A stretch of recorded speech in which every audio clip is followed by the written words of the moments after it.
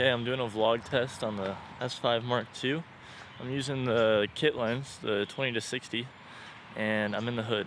That's where I live. So I'm actually about to go to a coffee shop called Elias here in Kansas City, and I have the wrong keys, so I better go get the keys from for my wife's car.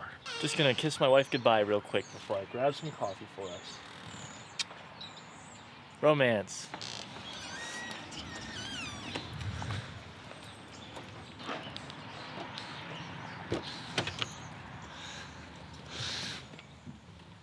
Still super underexposed, but maybe you can see me. The problem with using this lens to vlog outside and out and about is that it's a 3.5, I think, aperture at the wide end. So you're not getting a lot of extra light. And I'm also using an ND filter because it's so bright outside.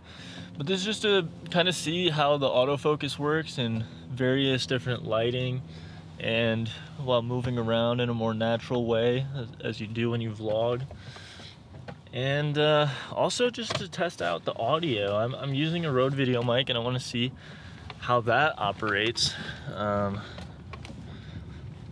in different settings as well because I know it just different cameras have different preamps and all that I don't really know how to mess with those just yet but I know with the Canon R7 that I had the preamps were really nice like I got really really clean audio out of that camera. So let's see if I can do the same with this camera.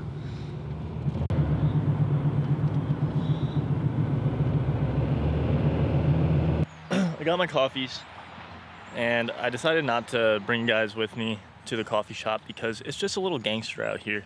And uh, you know, this camera costs quite a bit of money if I do say so myself. So I, I just want to make sure I kept you guys safe. And I know it feels like I'm just keeping things from you guys, but I, I'm just trying to be, I'm just trying to keep you safe.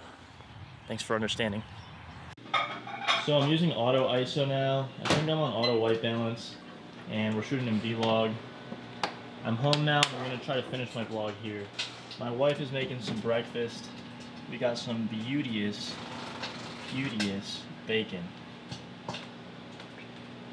Now the problem with auto ISO that I'm learning about these cameras, this camera in particular actually, is that uh, it doesn't expose for the fact that vlog is so flat and, and that it's better to expose one stop higher.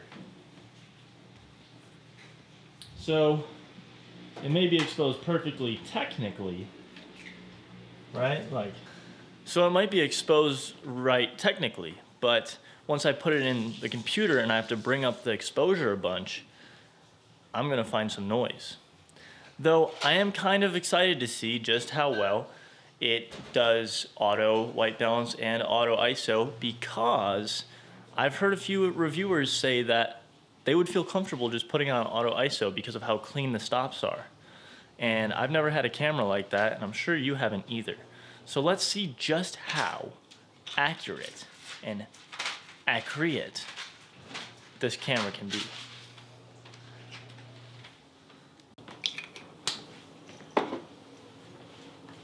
We got some eggs cooking at a whopping F 5.6. Show them a new mug. Wow.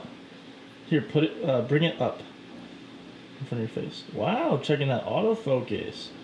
Wow, bring it down. And up. And down.